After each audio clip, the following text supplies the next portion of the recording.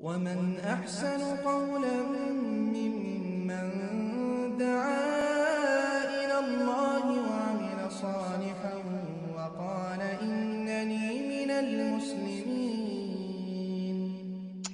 ওয়ালাইকুম আসসালাম রহমতুল্লাহ বরকাত এটা তো দিনই কাজ এখানে হস্তক্ষেপ করা দাওয়াতি কাজে এখানে তো আর শরীয়ত বিরোধী কোনো কাজ না আপনি দিনই কাজে সহযোগিতা করছেন বেদাত সিরকের বিরুদ্ধে মানুষকে বোঝা, বোঝাবার জন্য চেষ্টা প্রচেষ্টা করছেন। নিজেও হকের উপর থাকবেন।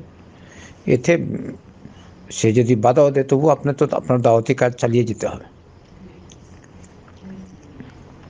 আপনি আপনার তৌফিক অনুযায়ী চালিয়ে যান।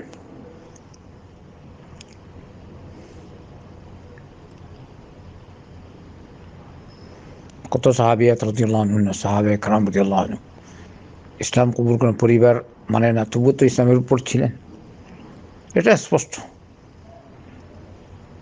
দিনের দাওয়াত করবেন। হ্যাঁ তার অধিকার নেই আপনাকে বাধা দেওয়ার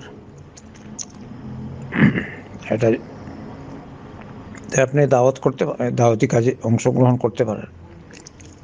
অবশ্য, অবশ্যই সেদিকে লক্ষ্য রাখতে হবে যেন তার কোনো খেদমতে, তার দায়িত্ব আদায়ে যেন ত্রুটি না হয়। সেটা আরেক কথা। এটা তো আপনাকে বুঝতে হবে, স্বামী হিসেবে। বাকি দাওয়াতি কাজ, আপনি ওখানে বসেই, আপনার ঘরে বসেই কেউ আসলে আপনি তাকে বুঝাবেন, যতটুকু পারেন বুঝাবেন। এরকম এই এই গ্রুপ বা যে কোনো গ্রুপে আছেন, দাওয়াতি কাজ করতে পারেন।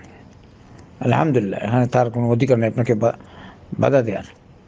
ওমেন আহসন কৌল মিমন দা ইল্লাহ ওয়া আমির সালেহান। কালা ইন্নানি মিনাল মুসলিমিন। এর চেয়ে কার কথা ভালো হতে পারে যে আল্লাহর পথে মানুষকে ডাকে?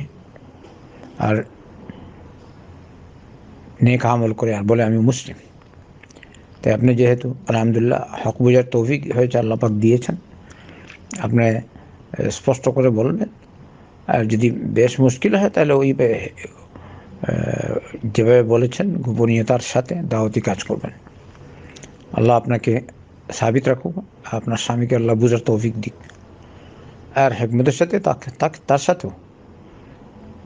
তার সাথেও শেয়ার করবেন মাঝে মধ্যে হেকমত অবলম্বন করে আর কি। হয়তো আল্লাহ পাক আপনার মাধ্যমে তাকেও হেদায়ত দিতে পারেন ইনশাআল্লাহ। কারণ আমাদের দেশের হানফি যারা প্রকৃত হানফি না। প্রকৃত হানফি হলে সবাই সালাফি। ওরা হানফি না, হয়তো দেওবন্দি, আর না হয় বেরলভি।